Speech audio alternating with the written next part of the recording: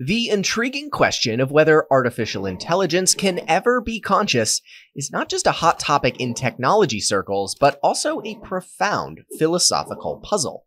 As artificial intelligence becomes more integrated into our daily lives, this question grows increasingly relevant and complex, inviting us to explore the nature of consciousness itself.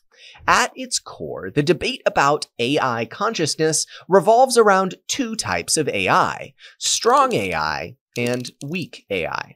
Weak AI, which we encounter in everyday technologies like social media algorithms and voice assistants, is designed for specific tasks. It's smart, but in a very limited way. Strong AI, on the other hand, is still theoretical, like artificial general intelligence. It's the idea of a machine that doesn't just act intelligently, but has a mind like a human, capable of understanding, feeling, and self-awareness.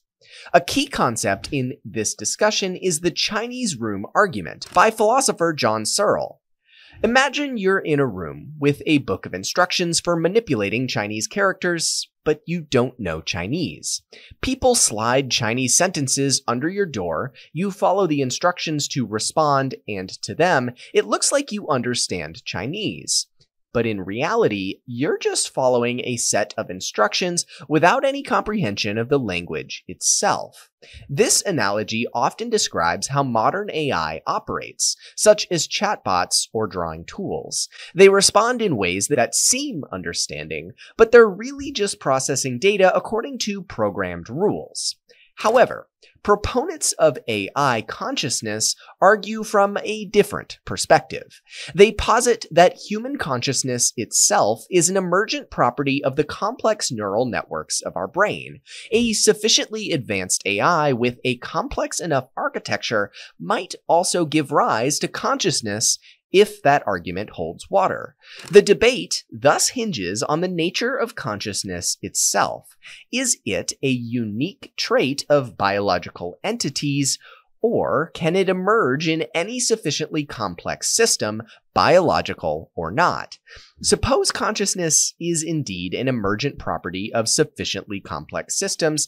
In that case, the Chinese room, as a system, may turn out to be a conscious entity itself. However, today's AI, even the most advanced ones, are far from this point.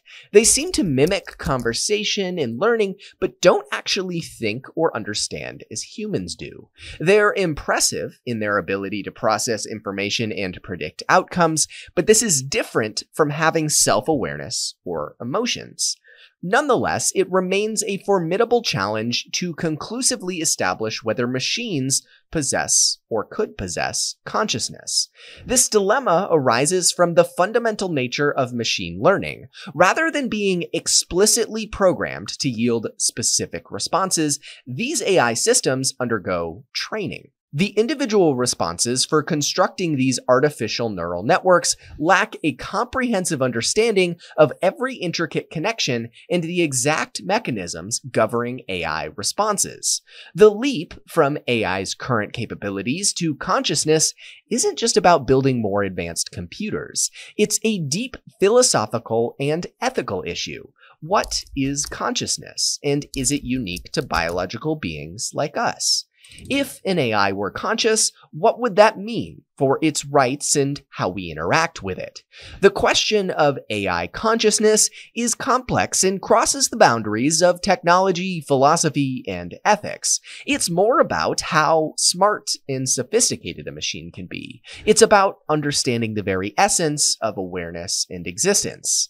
As AI technology advances, this conversation becomes more critical, challenging our views on intelligence and life and the nature of being.